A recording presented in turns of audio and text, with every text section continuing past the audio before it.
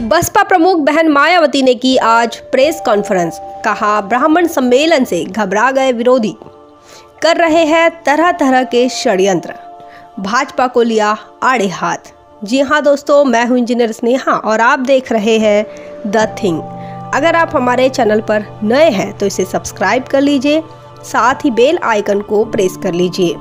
हमारे वीडियोस को लाइक करें, कमेंट करके अपनी प्रतिक्रिया दें। और अपने दोस्तों रिश्तेदारों में शेयर करना ना भूले। बसपा द्वारा पिछले दिनों से चलाए जा रहे प्रबुद्ध सम्मेलन, यानी ब्राह्मण सम्मेलन, अयोध्या, मथुरा, प्रतापगढ़, अंबेडकर नगर, आगरा के सफलता के बाद अब उत्तर प्रदेश की भाजपा सरकार घबरा गई है। जिसके चलते बसपा के कार्यक्रमों में कोरोना के नए नए कानून लगाए जा रहे हैं। ये नियम बसपा के लिए ही क्यों है, ऐसा सवाल उन्होंने किया है। इससे समझ में आ रहा है कि भाजपा इन कार्यक्रमों से डर गई है। ऐसा बहुजन समाज पार्टी की राष्ट्रीय अध्यक्ष बहन कुमारी मायावती जी का कहना है। उन्होंने आगे कहा कि भाजपा को उसकी हालत खिसियानी, बिल्ली खम्बा नोचे इस तरीके से हो गई है।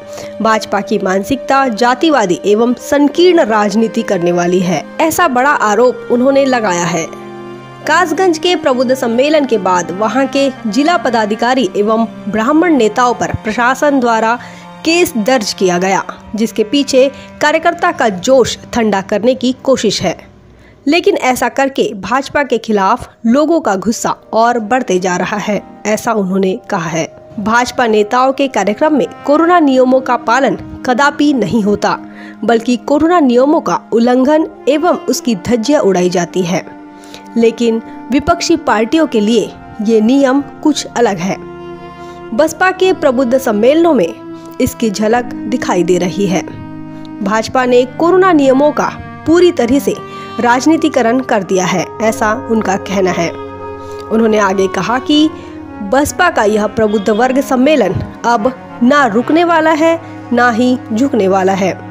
बल्कि ये सरकार के हर प्रकार के विरोध, शोषण और अड़चनों का सामना करते हुए दलित समाज की तरह ही आगे बढ़ता रहेगा।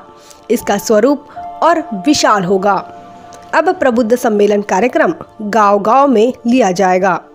उन्होंने आगे यह भी कहा कि ब्राह्मण समाज को भी अब समझ में आ गया कि भाजपा दलित, पिछड़ों, मुस्लिमों के साथ साथ ब्राह्मण समाज को भी आत्मसम्मान और स्वाभिमान से जीने नहीं देना चाहती।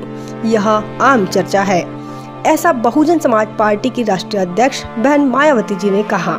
इस संदर्भ में आप क्या सोचते हैं, कमेंट करके ज़रूर बताएँ। बने रहे द थिंग पर। जय भीम, जय भारत। बहुजन विचारधारा को घर घर तक पहुँचाने के लिए हमारे यूट्यूब चैनल को सब्सक्राइब करें, लाइक करें, कमेंट करें, शेयर करें और बेल आइकन की घंटी दबाना ना भूलें।